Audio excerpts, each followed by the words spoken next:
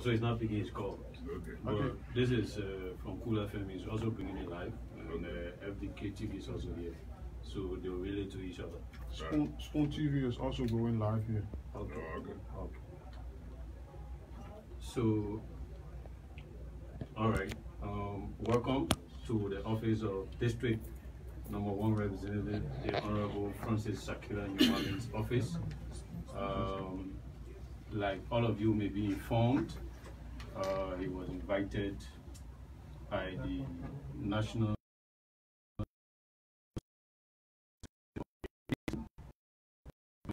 to inform the public about what unfolded and moving forward what next. So at this point, I will give the podium to the Honorable Francis Sakila Nyumalin to proceed with the press conference. Members of the Full Estate, Liberians, and our people in radio lands. Uh, we, on the 15th of March, were hosted by the OKFM. And during the interaction with the journalists in studio, there were assertions we made that came to the fore to the extent that the CDC-led government takes offense and believe that it should amount to some felonious crime or charges. A day after, we were informed by the office of the Deputy Speaker, of the House of Representatives, that the National Security Agency of Liberia was in search of us. But through the intervention of the leadership of the House, there was a conclusion that there was an understanding that there will have been a meeting today, a conference today where I, I shall appear with my lawyers and then authorities of the NSA will have carried out whatever they wanted to. Uh, whether that was going to be informal or formal, we did our consultations, and our consultations were legal, political, and traditional. On political and traditional basis, we yield to the advice that said to us, you can attend a call and refuse what is in the call. And so we came to attend the call. Unfortunately, because of the presence of Lofians in the building, at, or the Capitol building compound, uh, it was determined that our presence, in fact, was political. And so the Deputy Speaker, for some reason, has determined that the NSA has a statutory responsibility to exercise. And so they should do what they ought to do. And so I was there with three lawyers, Councillor Klubo, Councillor Fire, Councillor Bianhao. But the meeting wasn't held. But we have come back to let our people know, the Liberian people. Firstly, we want to use this occasion to condemn the arson attack on the home of Justice, Associate Justice of the Supreme Court, Joseph Nagbe, to condemn the arson attack at the National Election Commission to, to the highest and strongest term We are a civilized society as a country. The national legislature that I'm a member of, a well-constituted, organized, and law-abiding institution.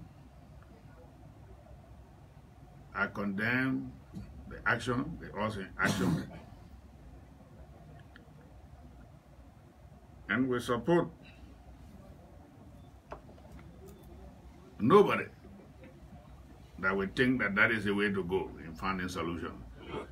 Uh, I do know that there are still five counties. The county of Rivers, the county of Nimba, the county of Gbarpolu, the county of Kima, and my own county, Lofa, whose senators have not been cleared somebody election commission, somebody Supreme Court, and people may want to exercise, I mean, to ensure that the constitutional period is respected. Because within 30 days, the National Election Commission should be able to to get rid of all election matters before them, following the announcement of the result thereof. In as much as that is not the case, any attempt to take law in your hand, I'm not in support of it. But let me repeat. This representative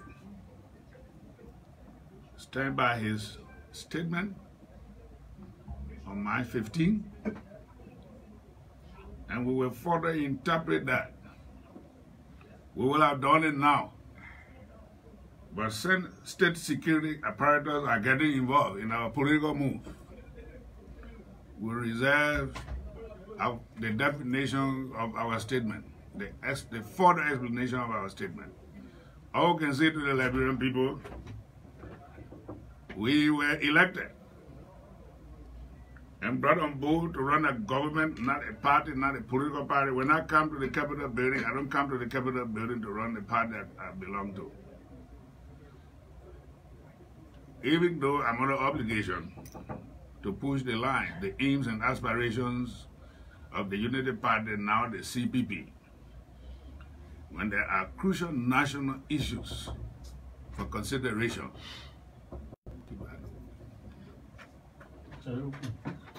when there are crucial national issues for consideration, we treat them as leaders of this country, void of politics. But let me re-echo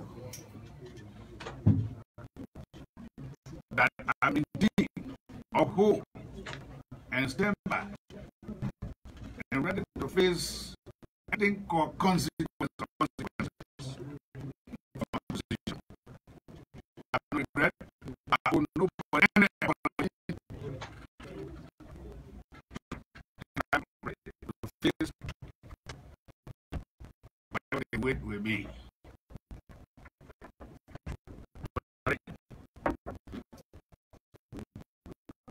That will be.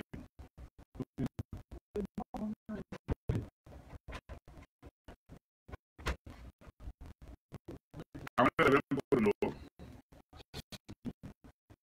that the allegations are there. I listen to the radio. There is a citizen from Clarence who claims that I am a general, a former ULIMO general. Indeed, I am a general, but I am a political general and not a rebel general. Nobody in this country I challenge the media to investigate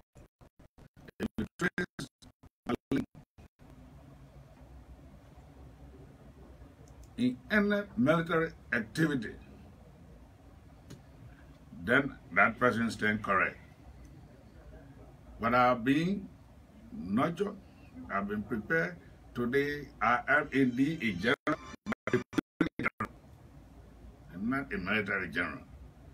And because I'm a political general, I will continue to fight for the people of my district, the people of my county, the people of the rural Liberia. And nothing can stop that. I stand ready. If the NSA will feel that this representative has to be arrested, the government of Liberia feel this representative has to be arrested, uh, but, but let me let me say this. I learned this when we were touting Aboput Bay. Aboput said to us, and I quote, a politician has two homes. One comfort home with your family, and one comfort, one uncomfort home in jail. And so, if because of my assertion, if it is misconstrued, if it is misanalyzed, and this government, the executive branch of government, who is under obligation to protect lives and property, will determine that this is felony, I'm prepared to face the consequence. You want me to go to jail? I'll go to jail. If that will end my life, let me let the, this government, the we are government to understand that there are more than 100 Nyumalins around here, just right around here. And you will find thousands of them outside there. And as I said, all of you know what my statement is. It's in the social media, and all of the, our media institutions have my statement.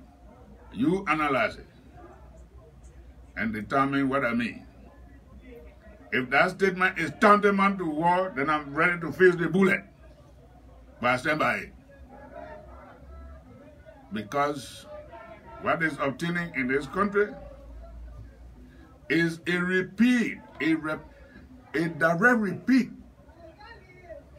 of those things that happened in the 70s and the 80s, in the 70s, the 60s, the 50s, the 70s, that led to the coup in 1980.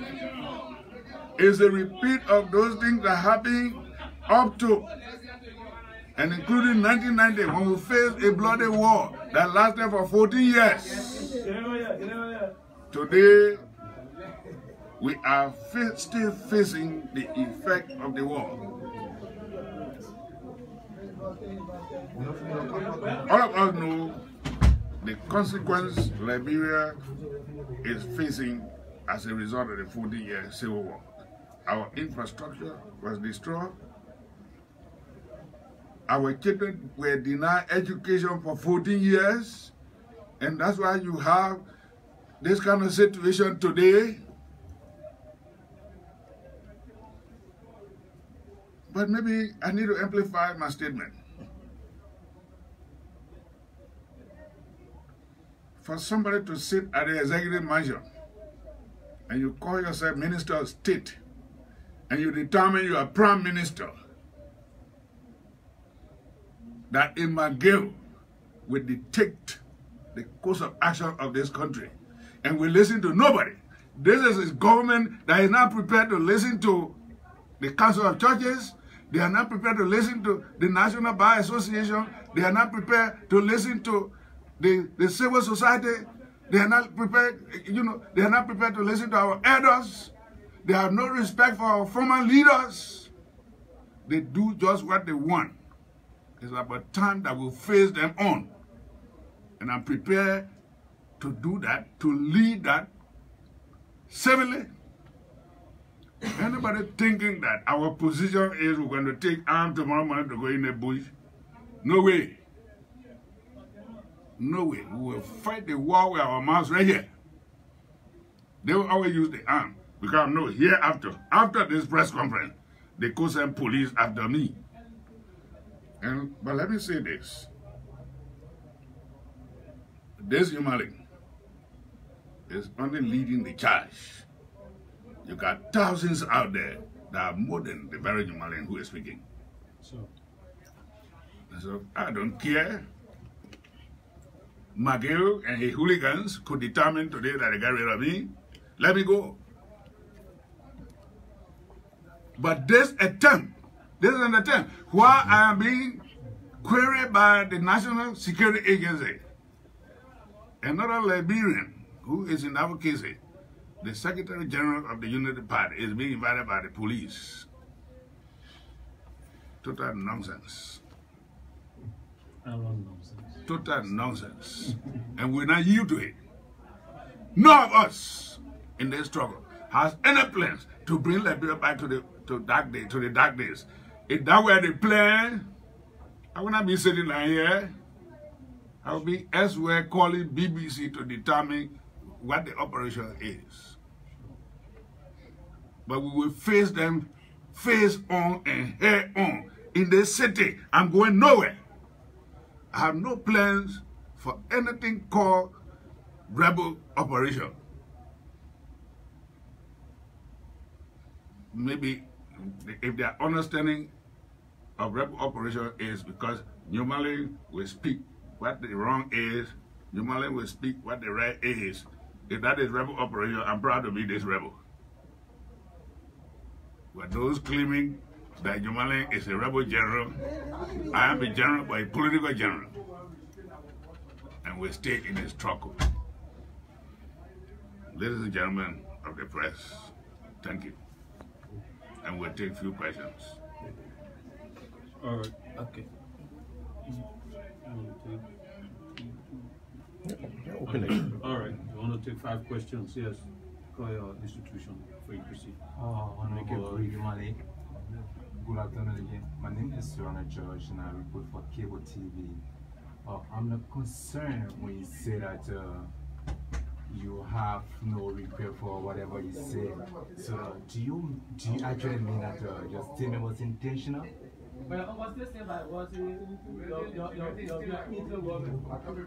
Honorable journalists, whatever I said, you can defend it. You can go to record. So The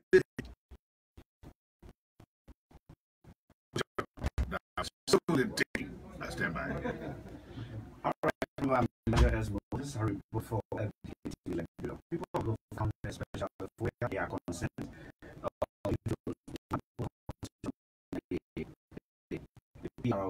the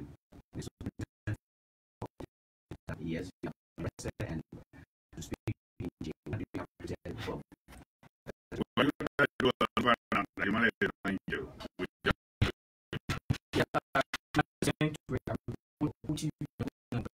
asking some questions. The first one has to do with you talk about your political and traditional consultation. Would you mind to follow uh, make it explicit when what you meant by your traditional and political consultation one two?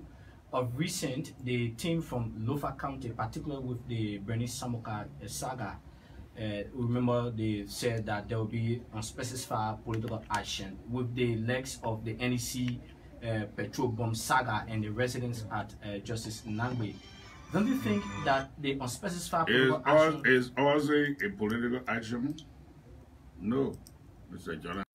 Political action. it was unspecified? So you're pro- by the Unspecified NSA. political actions. Political actions are not criminal actions. So even the CPP press statement tells you that there will be unspecified political actions.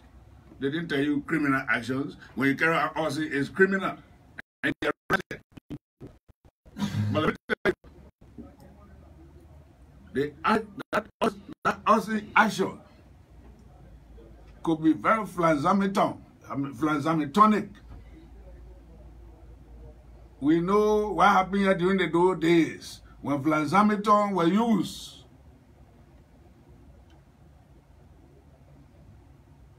To have had a purported coup, coup d'etat only because Samedo and his cohorts wanted to get a certain people. That could be the situation. And so we're calling on the security forces of our land to leave no stone unturned to investigate. And, and they will have to brave the storm. If this is a government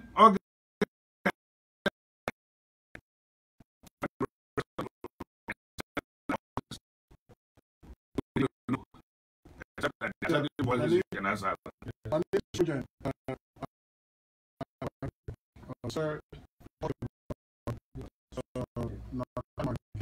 and his. Who are the hooligans? And you also talk about uh, the, the, security forces because this could be a, a quote unquote flan, of the process. So uh, uh, and yet you're calling on the security to investigate, brave the storm. Do you trust this very security who are also quote unquote That's what we uh, are. the hooligans of That, Minister McGill? that's what we have. And they didn't tell you that the security forces were the hooligans. Who are the hooligans, sir? You ask McGill, he will tell you. The But we, well, but we do, but we do know that. But we do know that. Nathaniel McGill command a force, a malicious force called the Ponkepan Brigade. Those are hooligans. Thank you. The last question. And and because you have hooligans, then Nathaniel McGill himself is chairman, is head of, is leader of a hooligan organization. Thank you, sir. That's hooliganism. Thank you. Thank you. So that is the end of And so that brings us to the end of this press conference. We've been in conversation with Representative Yumada of District 1, uh, Lofa County, where he just been released from um, interrogation from the NSA.